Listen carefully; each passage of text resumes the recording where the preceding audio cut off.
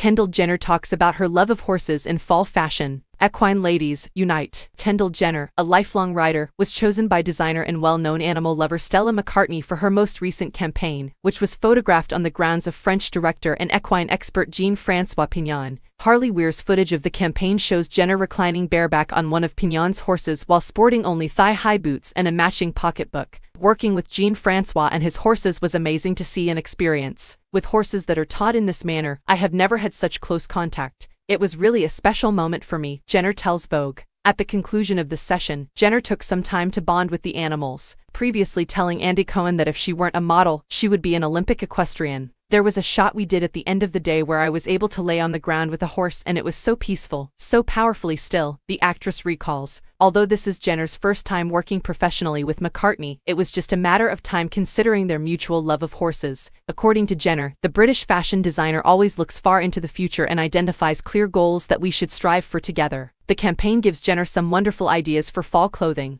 who reveals to Vogue that she particularly adored the all-red ensemble from the advertising video, as well as the vest and trouser moment. Jenner is eager to get comfy when it comes to her own autumnal attire. Chunky knits are always my favorite, she declares. Boots are ideal for all seasons, in my opinion, because I feel like I wear them often. The model and founder of 818 Tequila, who always looks stylish in neutrals, has discovered that her go-to-fall outfit consists of vintage jeans, boots, and a comfortable sweater now that the weather is cooling down. When does she need to go outside? I love my long jackets, she exclaims. For me, something about them just inspires a fashion moment.